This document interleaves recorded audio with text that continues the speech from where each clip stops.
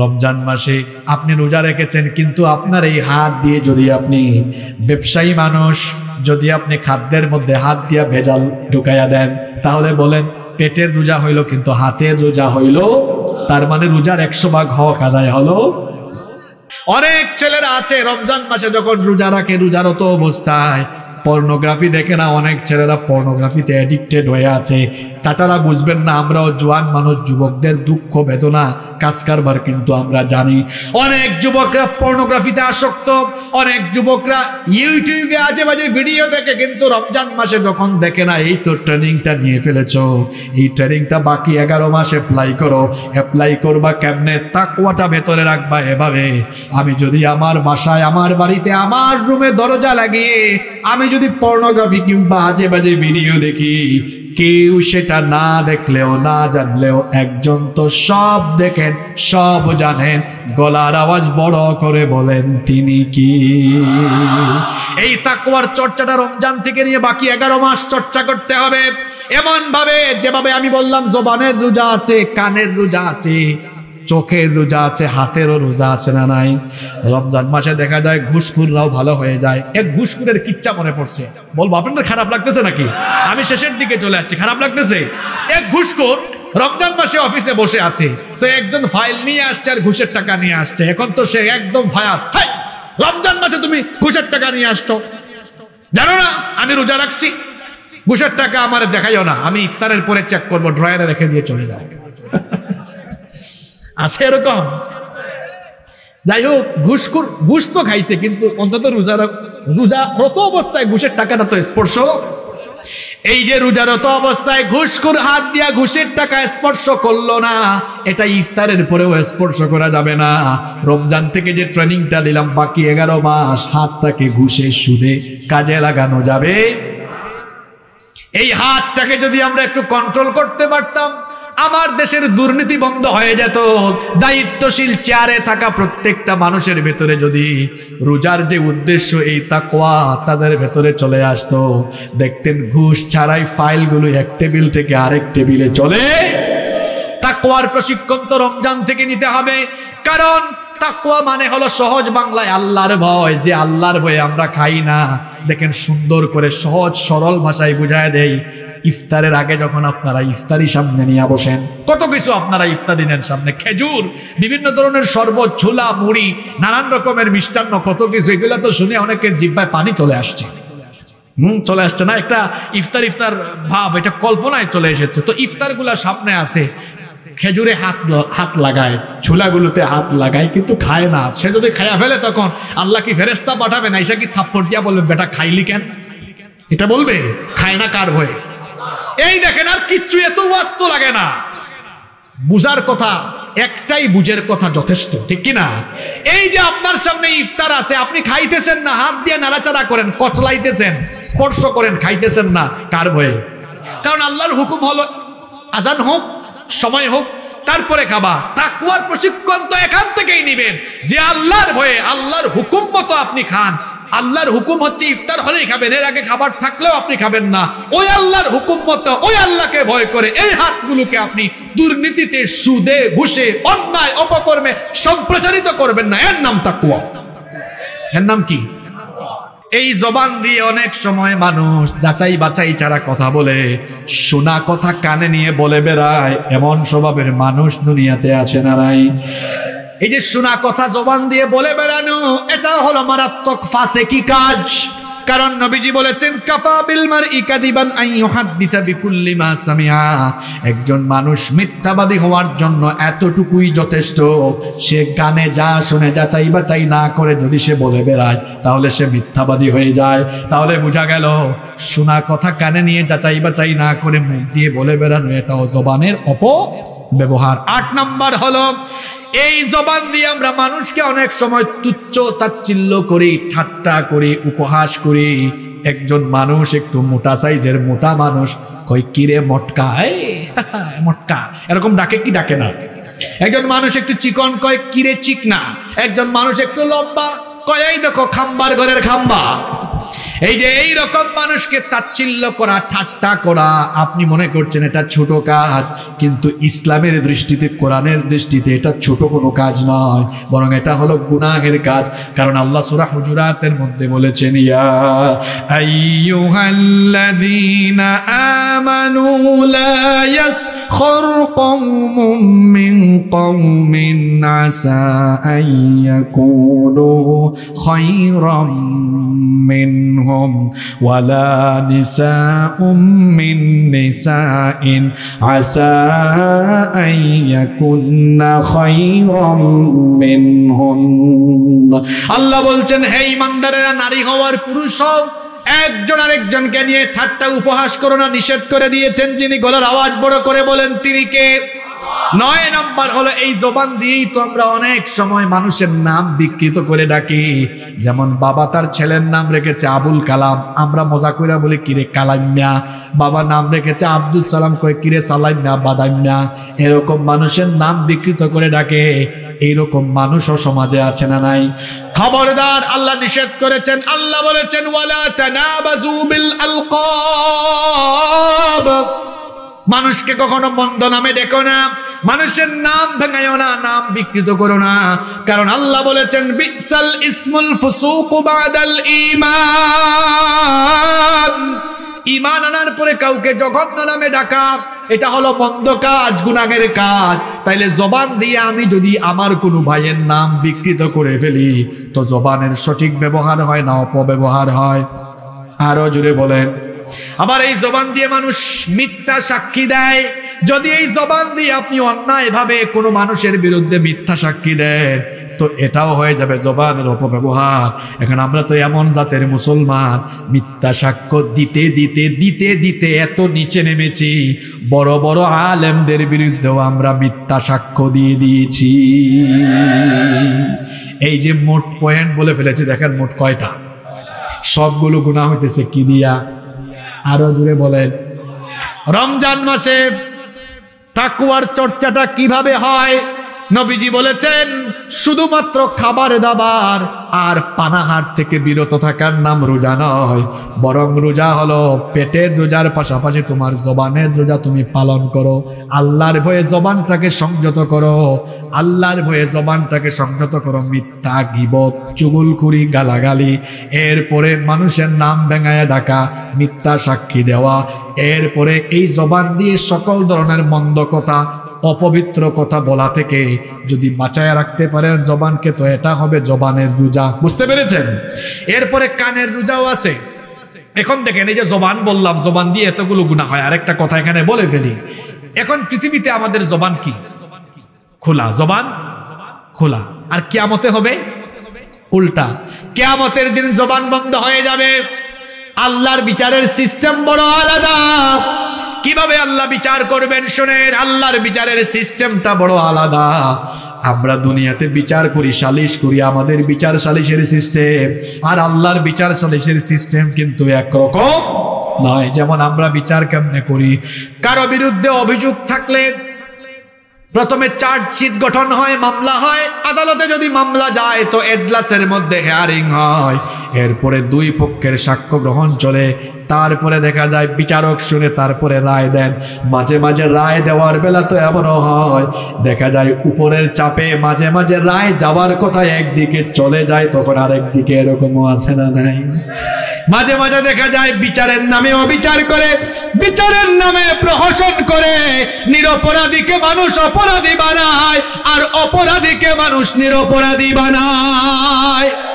আমাদের বিচারে দুই নম্বরে থাকতে পারে, অবিচার থাকতে পারে, বেইনসাফি থাকতে পারে, জুলুম থাকতে পারে, কিন্তু আল্লাহর বিচারে কোনো বেইনসাফি আর জুলুম আল্লাহ কীভাবে কিয়ামতের দিন বিচার করবেন শোনেন, আল্লাহর বিচারের সিস্টেম বড় আলাদা। আমরা জন্ম থেকে নিয়ে মৃত্যু পর্যন্ত যা করেছি, সব আল্লাহ জানেন কিনা? আসতে বলবেন না, জুড়ে বলেন আল্লাহ জানেন কিনা? আল্লাহ জানেন, জানার পরেও আল্লাহ একতরফা বিচার করবেন না। অপরাধীর অপরাধ আল্লাহ প্রমাণ করে দিবেন।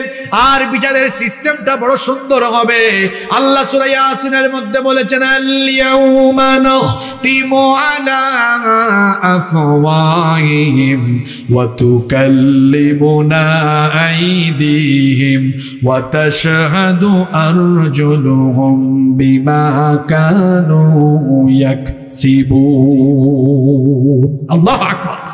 আল্লাহ বলছেন, সেদিন তোমাদের জবানে তালা লাগায় দেওয়া হবে। দুনিয়াতে জবান দিয়ে বড় বড় কথা বলেছ, ফডর ফডর করেছ, মিথ্যা বলেছ, একটু ক্ষমতা থাকলে হুমকি দিয়েছ, হুম? এই করে ফেলব, সেই করে ফেলব, বুঝাইয়া দিব। কত কিছু বলেছ, কেয়ামতের দিন এই জবানটাকে যিনি বন্ধ করে দিবেন, তিনি কে? আল্লাহ বলছেন, আমার বিচারের নমুনা শুনরে বান্দা, তোমার জবান আমি বন্ধ করে দিব।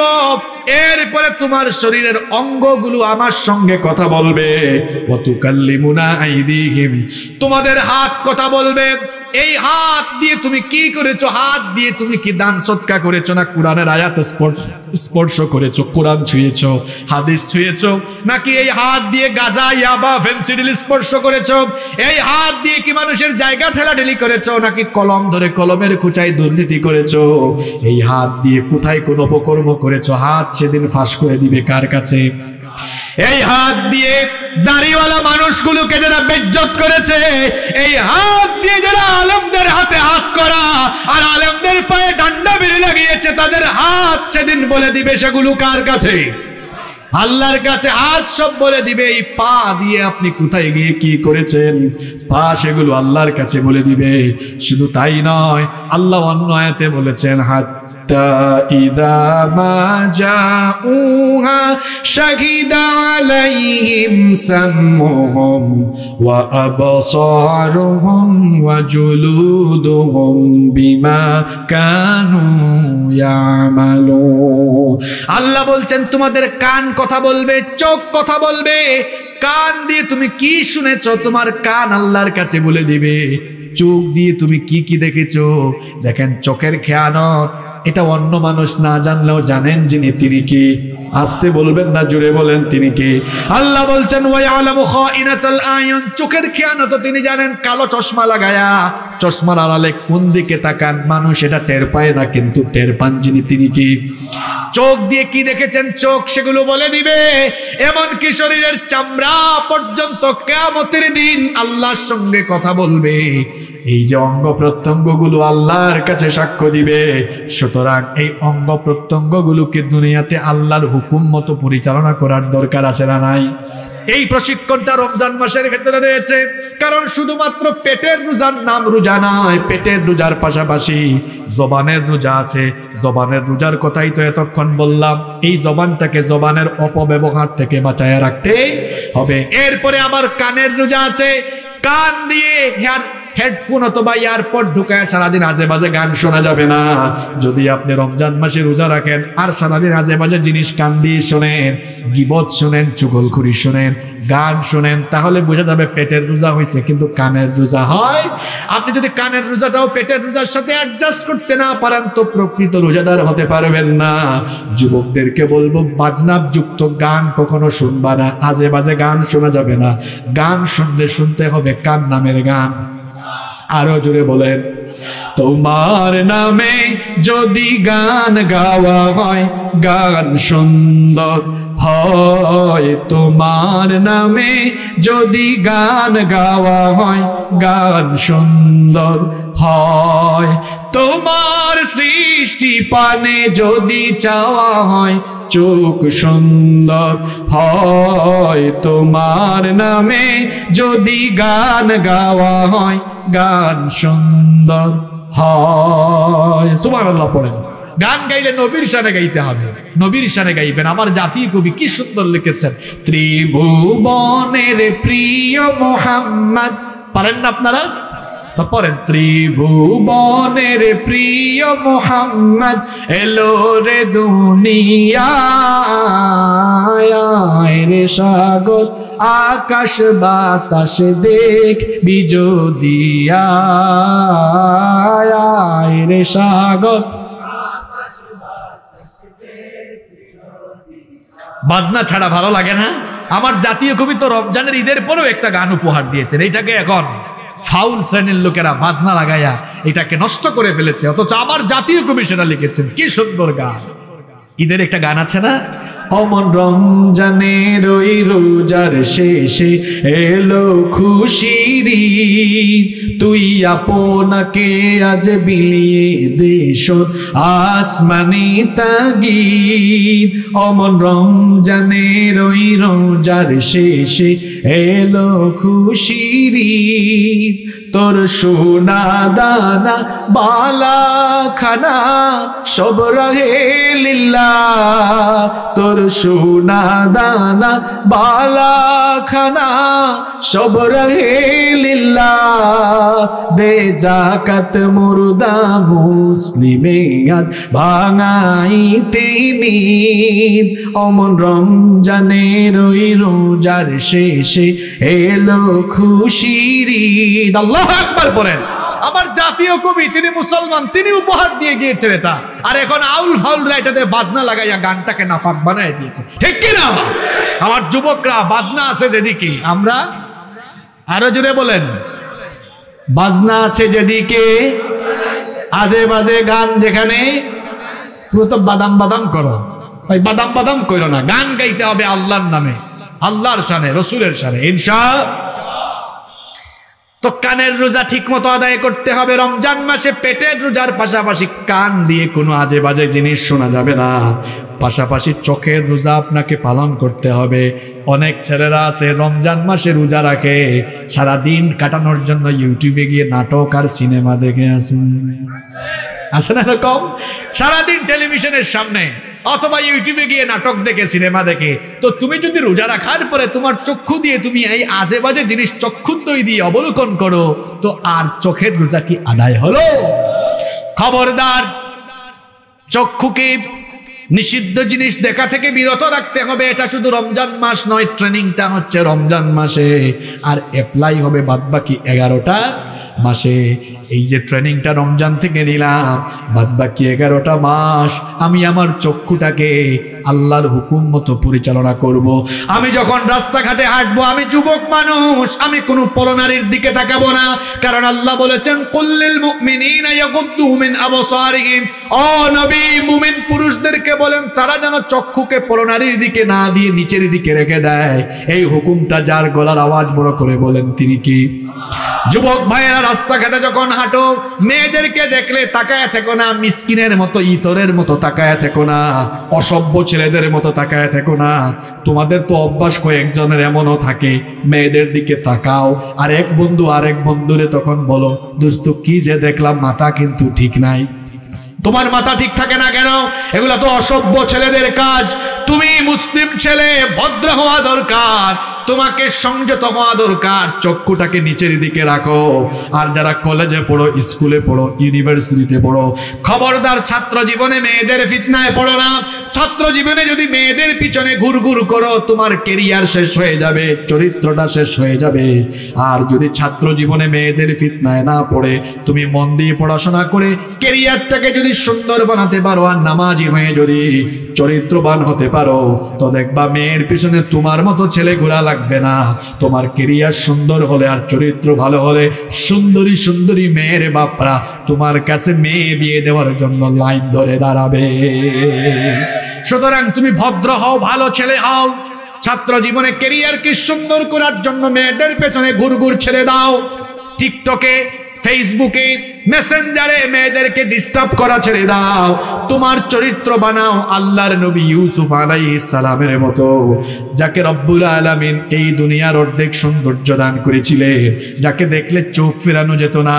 ইউসুফ নবী এত সুন্দর ছিলেন, যার সৌন্দর্যে অভিভূত হয়ে মুগ্ধ হয়ে মিশরের সেই যুগের সুন্দরী নারীরা ফল কাটতে গিয়ে নিজেদের আঙ্গুলগুলো তারা কেটে ফেলেছিল। আল্লাহ ইউসুফ নবী যেই ঘরে থাকতেন সেই ঘরের দুষ্ট মহিলা জুলাইখা প্রত্যেক দিন ইউসুফ আলাইহিস সালামকে তার চোখের সামনে দেখে দেখে পাগল পড়া হয়ে গেল। একদিন সে নির্জনে তার দাসীর মাধ্যমে সেই দিন ইউসুফ আলাইহিস সালামকে তার খাস কামরায় বেডরুমের মধ্যে আমন্ত্রণ করল, নিয়ে আসলো। সাতটি দরজা ছিল, সবগুলো দরজা লক করে দিল, বন্ধ করে দিল। এরপরে যখন সেই দিন ইউসুফ সালামকে দুষ্ট জুলাইকা কুপ্রস্তাব দিল, ইউসুফ সালাম তার এই কুপ্রস্তাব রিজেক্ট করে দিলেন, প্রত্যাখ্যান করে দিলেন, কার ভয়ে? আরও জুড়ে বলেন। ইউসুফ সালাম লক্ষ্য করলেন, দুষ্ট এই মহিলা এমন জায়গায় আমাকে নিয়ে এসেছে, এখান থেকে পালাবার কোনো পথ সে রাখে নাই। সবগুলো দরজা বন্ধ করে দিয়েছে। কিন্তু ইউসুফ নবীর তাওয়াক্কুল পরিপূর্ণ ছিল কার উপরে? তিনি ওই আল্লাহকে ভয় করে, আল্লাহর উপর তাওয়াক্কুল করে, তিনি যখন তালাবদ্ধ দরজার দিকে দৌড় দিলেন, আল্লাহ তালা তার নবী ইউসুফ আলাইহিস সালামের চারিত্রিক সৌন্দর্যে খুশি হয়ে গিয়ে সবগুলো দরজাকে আনলক করে দিয়ে দরজা তার জন্য আল্লাহ খুলে দিলেন। আমার যুবক ভাইদেরকে বলব, কলেজার টুকরা তরুণ ছাত্র যুবকদেরকে বলব, চরিত্র বানাও এমন। তোমার সামনে দিয়ে মেয়েরা যাবে কিন্তু তুমি ডিস্টার্ব করবা না। এই যে রমজান মাস থেকে তুই এই ট্রেনিংটা আছে, আমি রোজা রাখলাম। যদি আমি আমার চক্ষুকে পরনারী থেকে নিম্নগামী করতে না পারি, তো পেটের রোজা হবে কিন্তু চোখের রোজা হবে। রমজানের ট্রেনিং নিলাম, বাস্তবায়ন করব বাকি এগারো মাস। অনেক ছেলেরা আছে, রমজান মাসে যখন রোজা রাখে রোজারত অবস্থায়। পর্নোগ্রাফি দেখে না, অনেক ছেলেরা পর্নোগ্রাফিতে অ্যাডিক্টেড হয়ে আছে। চাচারা বুঝবেন না, আমরাও জোয়ান মানুষ, যুবকদের দুঃখ, বেদনা কাজ কারবার কিন্তু আমরা জানি। অনেক যুবকরা পর্নোগ্রাফিতে আসক্ত, অনেক যুবকরা ইউটিউবে আজে বাজে ভিডিও দেখে কিন্তু রমজান মাসে যখন দেখে না, এই তো ট্রেনিংটা নিয়ে ফেলেছ। এই ট্রেনিংটা বাকি এগারো মাস অ্যাপ্লাই করো। অ্যাপ্লাই করবা কেমনে? তাকুয়াটা ভেতরে রাখবা এভাবে। আমি যদি আমার বাসায়, আমার বাড়িতে, আমার রুমে দরজা লাগিয়ে, আমি যদি পর্নোগ্রাফি কিংবা আজে বাজে ভিডিও দেখি কেউ সেটা না দেখলেও, না জানলেও একজন তো সব দেখেন, সব জানেন। গলার আওয়াজ বড় করে বলেন, তিনি কি? এই তাকুয়ার চর্চাটা রমজান থেকে নিয়ে বাকি এগারো মাস চর্চা করতে হবে। এমন ভাবে যেভাবে আমি বললাম, জোবানের রোজা আছে, কানের রোজা আছে। চোখের রোজা আছে, হাতেরও রোজা আছে না নাই? রমজান মাসে দেখা যায় ঘুষখুররাও ভালো হয়ে যায়। এক ঘুষখুরের কিচ্ছা মনে পড়ছে। বলব, আপনাদের খারাপ লাগতেছে নাকি? আমি শেষের দিকে চলে আসছি, খারাপ লাগতেছে? এক ঘুষখুর রমজান মাসে অফিসে বসে আছে, তো একজন ফাইল নিয়ে আসছে আর ঘুষের টাকা নিয়ে আসছে। এখন তো সে একদম ফায়ার।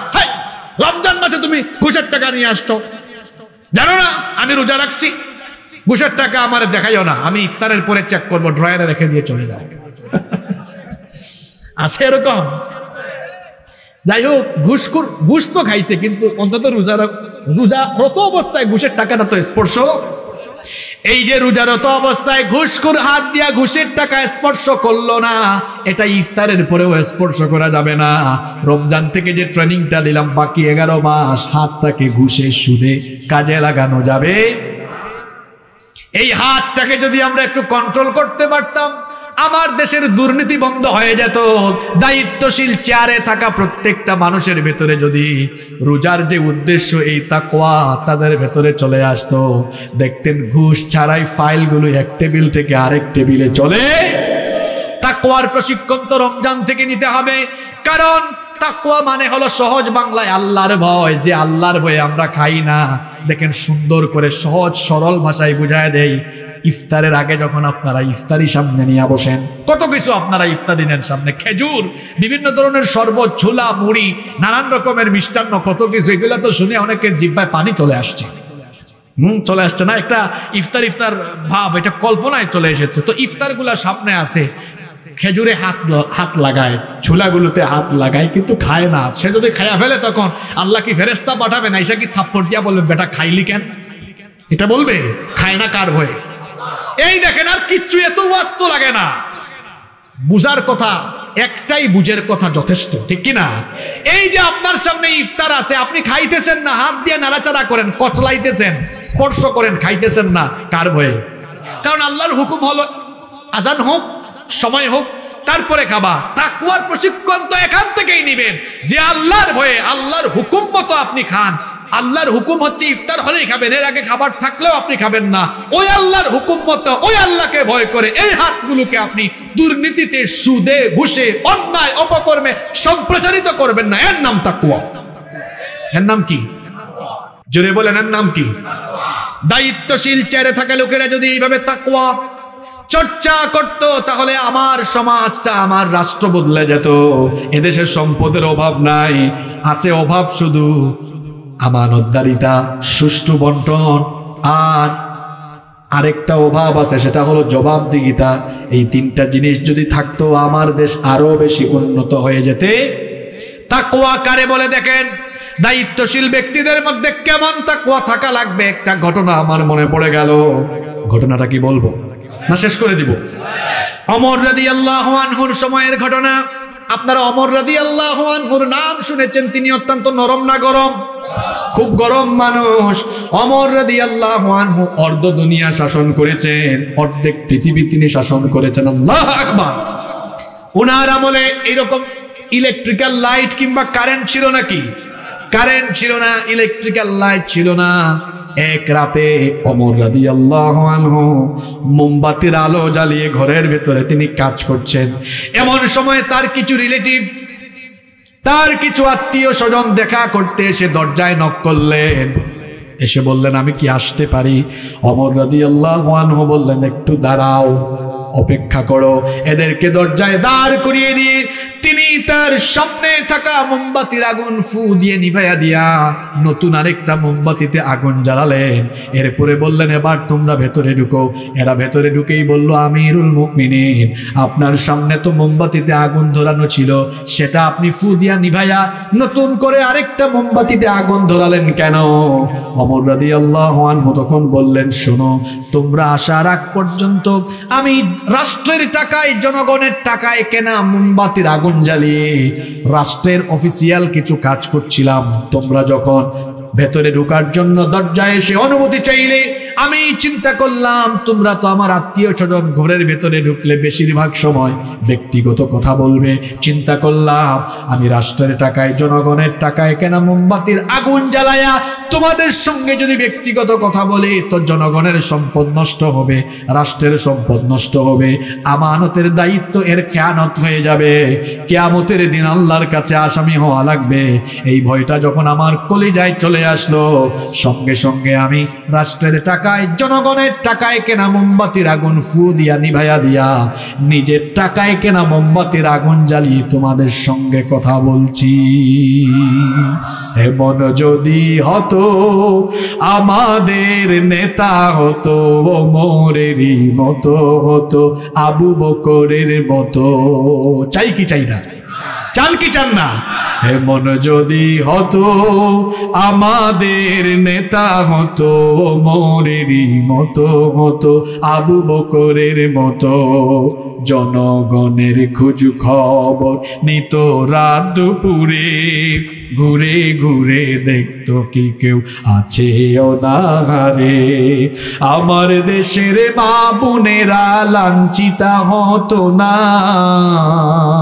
আমার দেশের কৃষক শ্রমিক বঞ্চিত হতো না। ধনী, গরিব ভালোবাসার জীবন ফিরে পেত। যদি আমাদের নেতা হতো মোরেরই মতো হতো, আবু বকরের মতো। ঠিক কিনা? রমজান মাসে তাকুয়ার চর্চা নেতারাও এখান থেকে নিয়ে। এইরকম তাকুয়াবান হওয়া লাগবে। যদি দায়িত্বশীল চেয়ারে থাকা প্রত্যেকটা ব্যক্তি এরকম তাকবান হতো, তাহলে এত দুর্নীতি, এত লুটপাট হতো না। এজন্য দায়িত্বশীল চেয়ারগুলোকে চোর ডাকাতদেরকে বসানো যাবে না। এই দায়িত্বশীল চেয়ারগুলোতে কোরআনওয়ালা, ইসলামওয়ালা লোকদেরকে বসাতে। বলছিলাম, রমজান মাসে তাকওয়ার ট্রেনিং আমরা নেই। এই তাকওয়ার ট্রেনিং নেওয়ার পরে বাদ বাকি এগারোটা মাস। এই তাকওয়াটা কি এই তাকুয়ার অ্যাপ্লাইটা বাদ বাকি এগারো মাস করতে হবে। রমজান মাসে আপনি রোজা রেখেছেন, কিন্তু আপনার এই হাত দিয়ে যদি আপনি ব্যবসায়ী মানুষ, যদি আপনি খাদ্যের মধ্যে হাত দিয়া ভেজাল ঢুকাইয়া দেন, তাহলে বলেন, পেটের রোজা হইল কিন্তু হাতের রোজা হইল, তার মানে রোজার একশো ভাগ হক আদায় হলো। তাকওয়া কারে বলে দেখেন? অমর রদি আল্লাহ আনহুর সময়ের আরেকটা ঘটনা, এই ঘটনা আপনাদের অনেকেরই জানা। বোঝানোর জন্য আমি সংক্ষেপে বলছি, রাতের বেলা তিনি ঘুমাইতেন না। রাতের বেলা তিনি ছুটে চলতেন পথে পথে, কোথাও কারও কোনো সমস্যা আছে কিনা। একবার তিনি শেষ রাতে ফজরের ওয়াক্ত হয়ে হয়ে আসতেছে, এমন সময়ে দেখলেন একটা বাড়িতে আলো জ্বলতেছে। ভাবলেন, কোনো সমস্যা নাকি? একটু গিয়ে কান পাতলেন। স্বাভাবিক অবস্থায় আড়ি পাতা কান পাতা কোনো মানুষের জন্য জায়েজ নয়, কিন্তু দায়িত্বশীল ব্যক্তিদের জন্য প্রয়োজনের খাতিরে সেটা জায়েজ আছে। কান পেতে শুনলেন এক মা তার মেয়েকে বলছে, ও আমার মেয়ে, উঠো, ঘুম থেকে উঠো, আমি দুধ দহন করে এনেছি, দুধ তো কম পেয়েছি। চলো পানি মিশাইয়া দেই, পরিমাণ বাড়বে, বেচা কেনা বাড়বে, লাভের পরিমাণও বেড়ে যাবে। মেয়ে বলল মাগো আমাদের খলিফা, আমাদের আমিরুল মুকমিনিন তিনি তো রাষ্ট্রীয় আদেশ দিয়েছেন, খাদ্যের মধ্যে ভেজাল দেওয়া যাবে না। এমনকি এটা আল্লাহও নিষেধ করেছেন, খলিফাও নিষেধ করেছেন।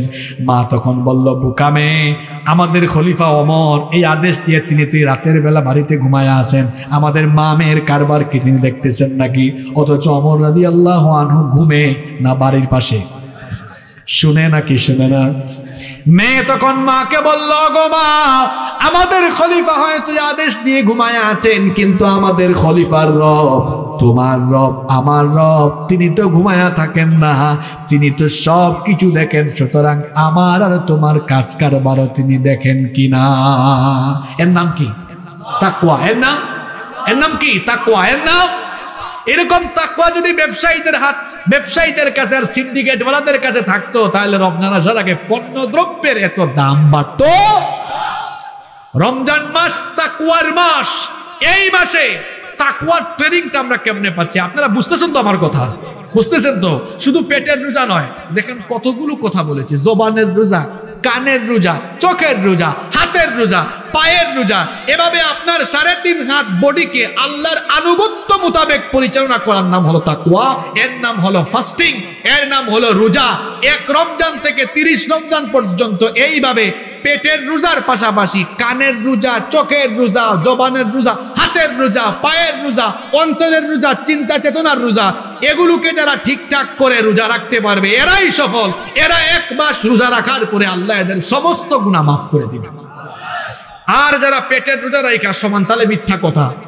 চুগলখুরি, গিবত, হাত দিয়ে অবিচার, জুলুম, চোখ দিয়ে জিনা, কান দিয়ে নিষিদ্ধ জিনিস শোনা, তার বডিকে আল্লাহর আনুগ নাম কাওয়াস্তে নামদারি রোজাদার হব নাকি প্রকৃত রোজাদার হব? জোরে বলেন। নামদারি রোজাদার হবেন না প্রকৃত রোজাদার হবেন আসলে সামনে রমজান মাস তো এই জন্য প্রকৃত রোজাদার হওয়ার যে উপায়গুলো আছে সেগুলো আপনাদেরকে আজকে বলে দিয়ে গেলাম। তো প্রকৃত রোজাদার হতে হলে কি করতে হবে? পেটের রোজার পাশাপাশি গোটা শরীরটাকে, চিন্তা, চেতনা সব কিছুকে এক কথায় আল্লাহর আনুগত্যের পথে তাকুয়ার ভিত্তিতে পরিচালিত করতে হবে। এক মাস ট্রেনিং নিব আমরা। এই রকম ট্রেনিং নিয়া, এরপরে ঈদের চাঁদ উঠে গেলে আবার যেই লাউ সেই কদু হয়ে গেলে চলবে? না, এক মাস ট্রেনিং নেওয়ার পরে যখন রমাদনের মাস শেষ হবে সাওয়াল মাস আরম্ভ হবে সাওয়াল থেকে শুরু হবে এবার ট্রেনিং এর বাস্তবায়ন। কারণ আমি তো সাওয়াল মাসে আপনাদেরকে সামনে পাবো না। এজন্য আগে ভাগেই বলে যাচ্ছি আপনাদেরকে, এই একটা মাস ট্রেনিং নিয়ে শুরু হবে সাওয়াল থেকে আমাদের বাস্তবায়ন। এভাবেই আমরা বাকি জীবন, বাকি জিন্দেগি যদি পরিচালনা করতে পারি, তবেই এই রোজার প্রকৃত উদ্দেশ্য হাসিল করে আমরা আমাদের জীবনটাকে সাজিয়ে সুন্দর করে জান্নাতমুখী জীবন পরিচালিত করতে পারব ইনশা আল্লাহ। জীবনে তো কত রমজান পাইলাম, কত রমজান এসেছে, চলেও গিয়েছে। জীবন তো বদলালো না যেই লাও সেই কদু। তার মানে বোঝা গেল রোজা, আমার জীবনে কোনো পরিবর্তন আনতে পারে নাই। রোজা তো এসেছে আপনাকে পরিবর্তন করার জন্য, রোজা এসেছে আপনাকে সংশোধন করার জন্য, রমজান এসেছে আপনাকে জান্নাতমুখী করে দেওয়ার জন্য। সুতরাং রমজান এসে চলে যাওয়ার পরেও যদি আপনার জীবনের পরিবর্তন না হয় বদভ্যাসের পরিবর্তন না হয়, তো এই রমজান, এই রোজা আপনার কোনো কাজে লাগবে না। আসুন, আমরা রমজানের প্রকৃত উদ্দেশ্য হাসিল করার জন্য রমজান মাসে আমরা এভাবেই একটি মাস তাকুয়ার চর্চা করি। তাকুয়ার চর্চা করে আমরা বাকি জিন্দেগি এর ভিত্তিতে পরিচালনা করি। মনে রাখবেন তাকুয়া হলো মুমিনের পোশাক। তাকুয়া হলো মুমিনের পোশাক। এই যে পোশাক পরছি, আমি, আপনারাও পরছেন। পোশাক পরার কারণে কি হয়েছে? আমাদের লজ্জা ঢেকে আছে, পোশাক খুলে ফেললে লজ্জা প্রকাশিত হয়ে যাবে। যখন কোনো মুমিন, যখন কোনো মুমিন তার জীবন থেকে, চরিত্র থেকে তাকুয়ার পোশাক খুলে ফেলে, তখন তার জীবনটা শয়তানের গুলামিতে কেটে যায়। আর যখনই কোনো মুমিন সে তার জীবনে তাকুয়ার পোশাককে জড়াইয়া ফেলে, তখন সে আল্লাহর গুলামির পথে জীবন কাটাইয়া দিতে পারে। শোনেন তাকুয়া তাকুয়াটা কেমন? আমি আপনাদেরকে বলি, এটা খুব সহজ করে, সুন্দর করে বুঝাই। আমি জানি না আঞ্চলিক ভাষায় আপনারা এটাকে কি বলেন। আমাদের সিলেট এটাকে ল্যাংরা বলে। আমি বলি ওই যে গ্রামে একদম সংকীর্ণ মেটু পথগুলোতে হাঁটলে দেখবেন, কিছু কিছু গাছ আছে, এগুলাতে ছোট ছোট কি জানি থাকে, আপনার ইয়েতে ঢুকে যায়। কি বলে? কাপড় চোপড়ে ঢুকে যায় বাড়ি, বাড়িয়া। আচ্ছা যাই হোক, আপনারা বুঝলেই হয়েছে, বাড়িয়া। আমার বাড়ি সিলেটে, আমাদের এলাকায় বলে ল্যাংরা আচ্ছা তো বাড়িয়া যেখানে আছে, সেখানে আপনারা কি কাপড় চোপড় ছাইরা দিয়ে হাঁটেন না একটু আটো সাটো হয়ে আছেন একটু আটোসাটো হয়ে আসছেন যেন আমার গায়ে যেন, আমার এই কাপড়ে যেন এগুলা না ঢুকে। তাকুয়া মানে কি জানেন? আপনার সমাজের সামনে পিছে ডানে বামে গুণা আর গুণা থাকবে, পাপ আর পাপ থাকবে। আপনি যেমন ওই বাড়িয়া দেখলে আটোসাটো হয়ে আস্তে করে চলে যান, যেন আপনাকে এগুলো স্পর্শ না করে, ঠিক তেমনি চারপাশে গুণা থাকবে। আপনি তাকুয়ার ভিত্তিতে জীবনকে এমনভাবে পরিচালনা করবেন যে মরণ পর্যন্ত এভাবে তাকুয়ার সাথে পরিচালনা করে যাবেন জীবনটাকে, কিন্তু পাপ আপনাকে স্পর্শও করতে পারবে না। সুবাহ এই ট্রেনিং নিব কোন মাসে? কোন মাসে? শুরু হচ্ছে, আলহামদুলিল্লাহ বলো। আল্লাহ বাল্লিকনা রমাদান। আল্লাহ আমাদেরকে রমজানে পৌঁছায় দেয় আরও আসতে বলেন, আমিন। আল্লাহ এই মাসকে সম্মান করার, ইজ্জত করার, কদর করার, কাজে লাগানোর সমস্ত তৌফিক এবং সামর্থ্য আপনি আমাদেরকে দান করে দেন। যে কথাগুলো বলে গেলাম। আচ্ছা। যে কথাগুলো বলে গেলাম, সেগুলো মানার চেষ্টা করবে। আর তারাবির নামাজে তাড়াতাড়ি করেন না। আমাদের দেশে তারাবিতে যে গতি। হ্যাঁ শুধু প্রথমটা বোঝা যায়, শেষটা বোঝা যায়।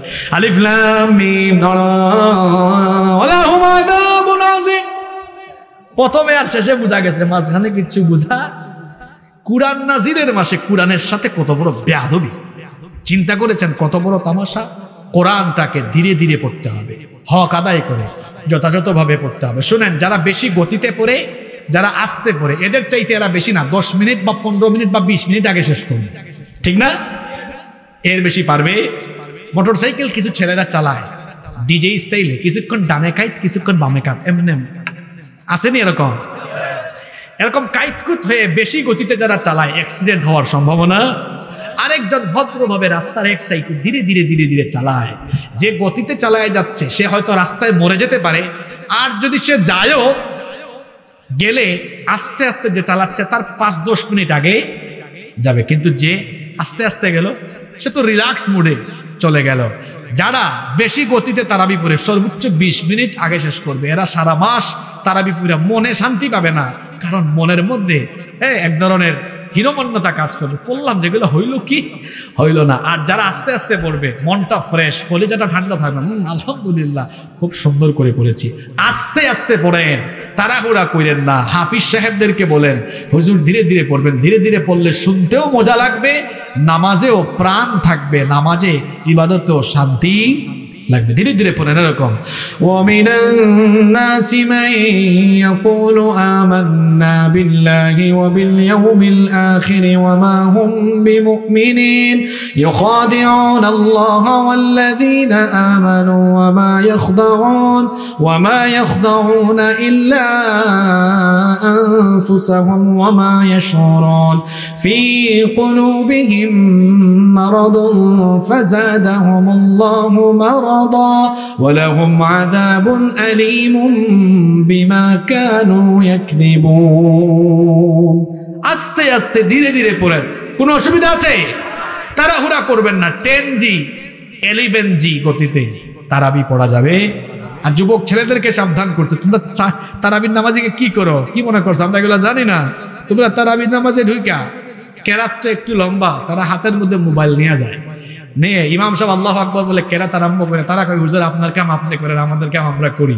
তারা মসজিদে এরকম হেলান দিয়া বৈশা, তারপরে মোবাইল স্ক্রলিং করে। যখন হুজুর আল্লাহ আকবর কয়, তখন আল্লাহ এরকম আছে? এইসব তামাশা ছাড়ো। এই এক মাস প্রযুক্তি থেকে কিছুটা বের হয়ে আসো। ফোন বাসায় রেখে, যুবকদেরকে বলছি, বাসায় রেখে নামাজে যাও। একদম তাকবিরে উলা থেকে শুরু করে সালাম ফেরানো পর্যন্ত নামাজে মনোযোগী হও। পারা যাবে তো ইনশাল্লাহ আর পাঁচ ওয়াক্তের নামাজ, এটা সবচেয়ে বড় ওয়াজ। রাত বারোটা পর্যন্ত ওয়াজ শুনে ফজরের নামাজ যে পড়বে না, তার এই ওয়াজ কোনো কামে লাগবে? এরপরে দিন কায়েমের আন্দোলন করবে। দিন কায়েমের আন্দোলনের স্লোগানও দেবে, জিহাদ জিহাদ জিহাদ চাই, জিহাদ করে বাঁচতে চাই, নামাজ পড়বে না, তার জিহাদও কোনো কাজে আসবে? মনে রাখতে হবে, ইমানের পরই প্রথম দায়িত্ব নামাজ, জিহাদের ময়দানে আগে নামাজ। এজন্য কেউ নামাজ ছাড়বেন না। এখানে যুবক ভাইয়েরা একটা রিকোয়েস্ট করেছেন একটা গজল গাওয়ার। এই গজলটা আসলে আমি সুর করতে পারি নাই। পারলে আমি গাইতাম, এই অনুরোধটা আমি রাখতাম। যতগুলো কথা হ্যাঁ? আচ্ছা এক কালিমায় রুটি রুজি, এক কালিমায় ফাঁসি। এটা নিয়ে তো বাংলাদেশে কত বিতর্ক হয়ে গেল। আহারে। অনেকে এটা নিয়ে কত ধরনের কথা বলেছেন। কালিমা তো একটাই, কালিমা দুইটা না, কালিমা কয়টা? একটা। এই কালিমা এর দাবি পূরণ যখন নবীওয়ালা তরিকায় কাজ করবেন, তখন রুটি রুজির পাশাপাশি নির্যাতন ও নিপীড়নও নেমে আসবে। পৃথিবীতে আচ্ছা সমস্ত নবীরা কিসের দাওয়াত দিয়েছেন? জোরে বলেন। এক নবীর দাওয়াতের সাথে কি আরেক নবীর দাওয়াতের কোনো অমিল ছিল?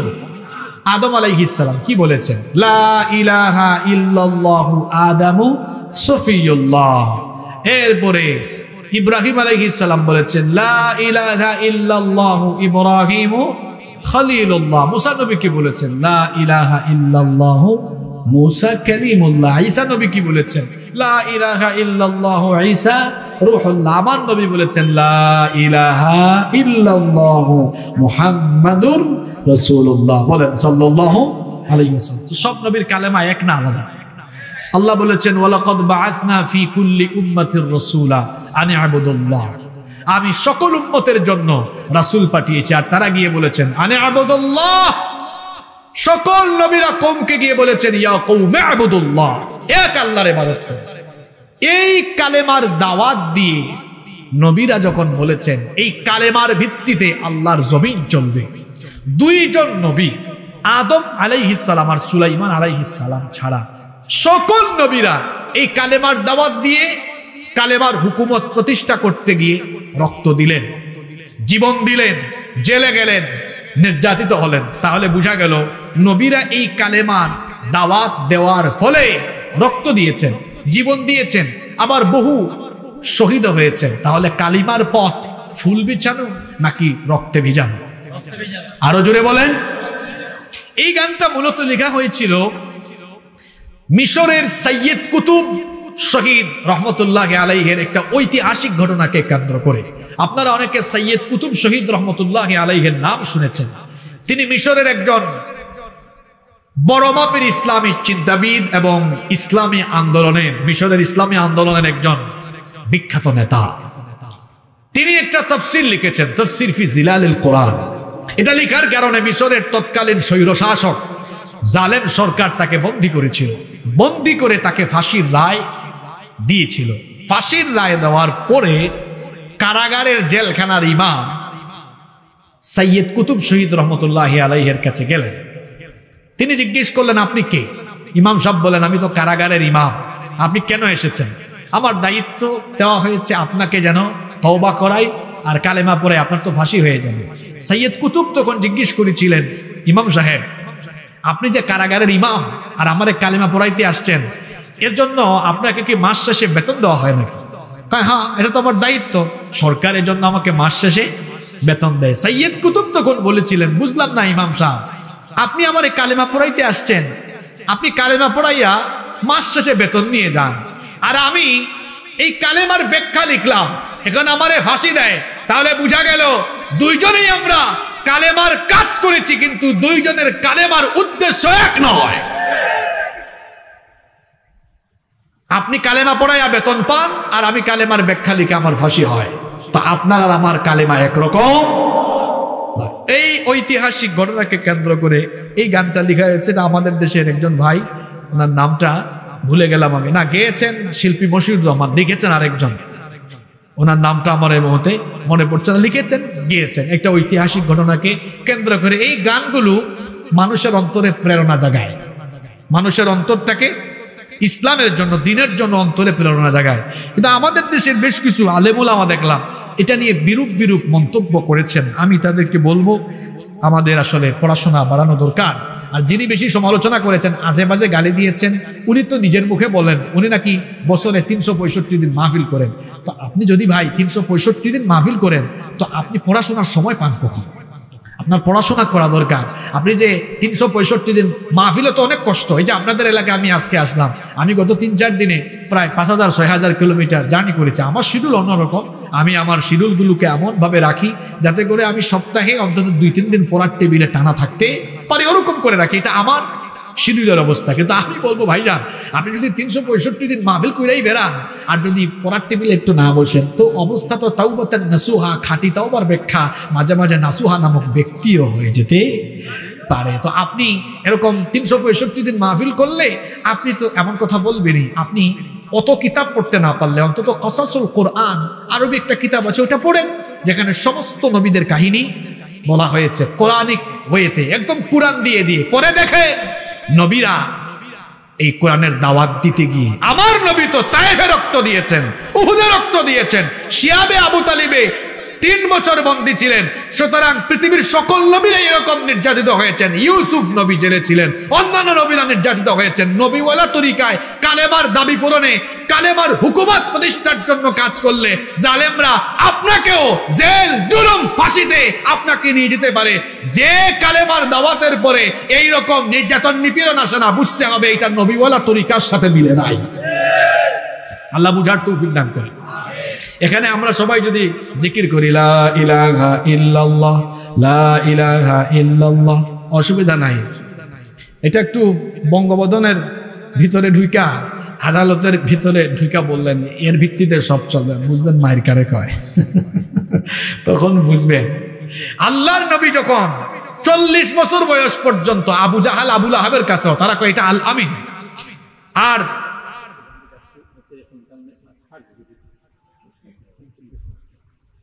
চল্লিশ বছর বয়স পর্যন্ত তিনি আল আমিন যখনই বললেন, কুলু লা ইলাহা ইল্লাল্লাহ তুফলিহ, যারা বলেছিল আল আমিন কয় মাথা পাগল হয়ে গেছে।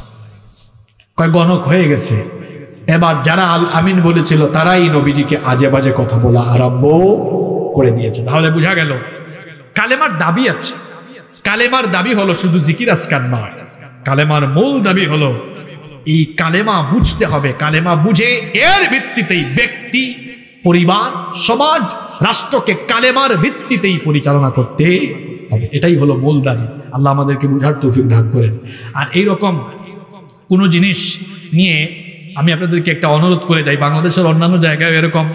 আমাকে যুবকরা দিয়েছে, ভাবছে, ইউটিউবাররাও দেয়, দেখি হুজুরে একটু চেতানো যায় কিনা? তাহলে এক হুজুর দিয়ে আরেক হুজুরে লাগাই দেবে। না, শোনেন, উম্মতের ঘরে আগুন লাগলে ওখানে গিয়ে কেরাসিন না ঢাইলা একটু পানি ঢাইলা দিয়ে যাতে ঠান্ডা হয়ে যায়। কেন জানেন? আমরা আমরা যখন মারামারি করি, তারপর ঝাড়ু মজুমদার কিছু আছে না? তারপরে ইসলাম বিরোধী কিছু আছে না? এরা তখন হাততালি দেয়। ভালো হয়েছে।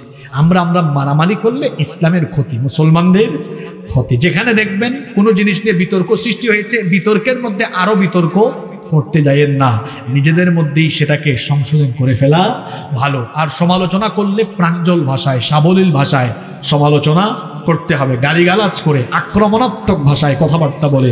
সমালোচনা, এটা শুভনীয় নয়, এটা সমীচীন নয়। আল্লাহ আমাদেরকে বুঝার তৌফিক দান করে